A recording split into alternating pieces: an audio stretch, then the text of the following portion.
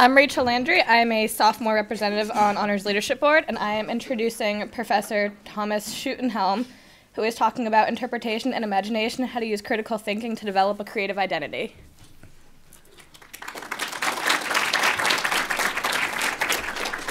Thank you. To help contextualize this a little bit, um, I'm a musician, so I'm a performer and a composer. And when I heard my colleague George Springelmeyer was going to play a bit of music, I thought I'd compose a little bit of prose um, to demonstrate maybe how we get from uh, uh, the idea of music to the performance of it. So while uh, Professor Kaplan was talking about Ciceronian, I've adopted my very best Emersonian uh, tone for you.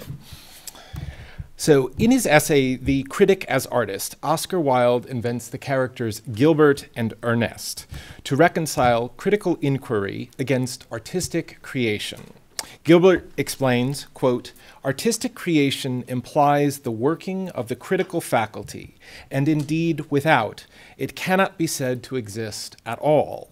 So criticism is really creative in the highest sense of the word. Criticism is, in fact, both creative and independent, unquote. I take this to mean that to create is simultaneously to engage in a critique of oneself and a critique of the conventions we are born into, and to seek an independence from it. There is no recipe to achieve this. It must be, as we would expect it to be, created. Only a few will succeed, and wit, uh, forgive me, only a few will succeed, and the witnesses to these successes will be even fewer. But for the ones who can count themselves among those who have made the attempt, there will be some satisfaction. If, through our own desire, or perhaps the provocation of others, we enter the commonwealth of the imagination, the splendor of this experience is not easily forgotten, even if our stay is all too brief.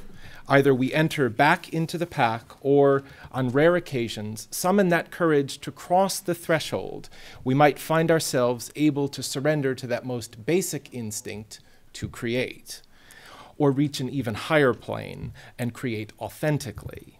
But if we suffer anxieties along this journey, and I suffer them most profoundly, I remind myself of Beckett's lines fail more, fail better.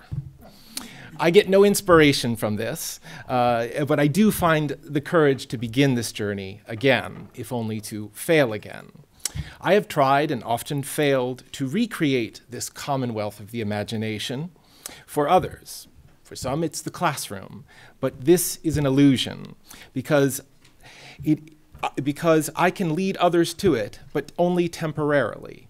But give them the techniques of critique, they might find their way back, and I will ha have felt some of that success. If not, I promise to fail more and fail better next time.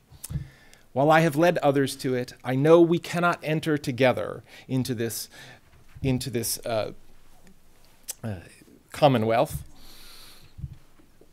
because it is necessarily a solitary place. And for this, I go back to Wilde, and he says, It seems to me that the imagination spreads, or should spread, a, soli a solitude around it, and works best in silence and isolation. Unquote. We can retreat together, as we so often do, but on some occasions, we can perpetuate our stay, or on rarer occasions, find the courage to cross that threshold to true creativity. We will not enter again in the same manner, and certainly not as the same person. For creation is a permanent separation. In his famous essay, The Creative Act, Marcel Duchamp discusses the struggle between intention and realization. Duchamp writes, and I quote, the chain of reactions accompanying the creative act, there is a link missing. This gap, representing the inability of the artist to express fully his intention, this difference between what he intended to realize and did realize, is the personal art coefficient.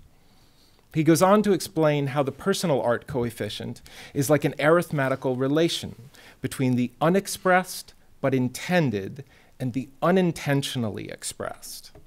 And I can't think of a better or more poetic way to express the frustrations and aspirations of our own age. Yet I always seek to fill that gap, to find that link, to complete that chain.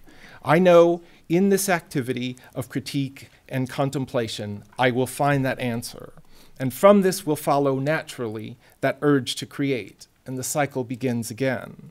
For I am only made aware of this absence through I am only made aware of this absence through the activity of critique, and my desire to fill it with a presence necessitates a creation. And I go back to Wilde and quote, There have been critical ages that have not been creative, but there has never been a creative age that has not been critical also. For it is the critical faculty that invents fresh forms. So, for the students who have not yet read Wilde, Beckett, or even seen Duchamp, I urge you to read them now and read them closely, to submit to them and submit them to critical inquiry, and to experiment with their seemingly irrationalities. And if those artists can't persuade you, then I'm going to collapse into Roald Dahl. In the great words of Willy Wonka, we are the music makers, we are the dreamers of dreams. Thank you.